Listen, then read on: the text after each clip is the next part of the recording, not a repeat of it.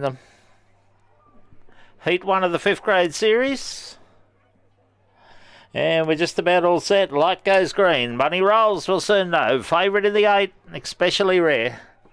How's he going to jump?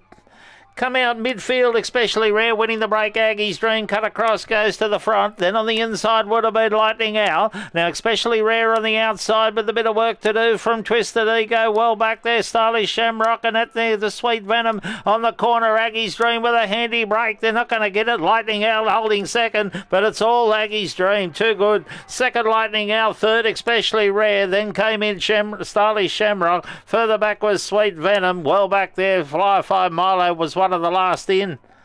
22.80 the time, winner number five, Aggie's Dream.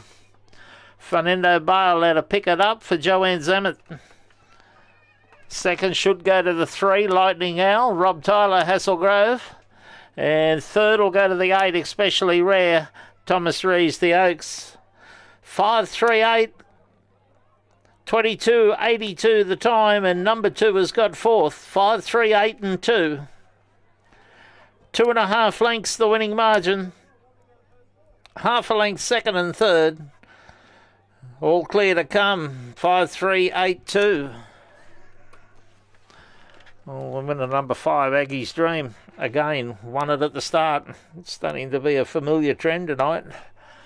Flew out, especially rare, was only midfield away. He can miss it at times. And he had to work hard out deep and just couldn't make up the leeway. Number three, Lightning Owl, was thereabouts most of the way, just couldn't track the winner down. Five, three, eight, and two, the numbers.